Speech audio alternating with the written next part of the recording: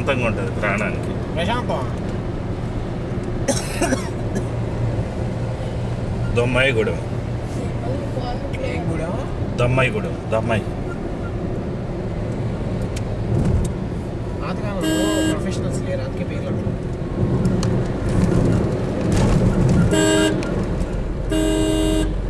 అదే మనం అనుకో ఏబిసి అన్న విజయవాడ అప్పట్లో వాళ్ళు ఇదేమో ఏ ఊరు ఇంకోటేమో బి ఊరు కూడా సి ఊరు ఈ రోడ్ ఇటు పోద్దా ఏది? ఇప్పుడు పోయింది అమ్మాయి కూడా. లెఫ్ట్ చెప్పండి. విజయవాడ విజయవాడ. హైదరాబాద్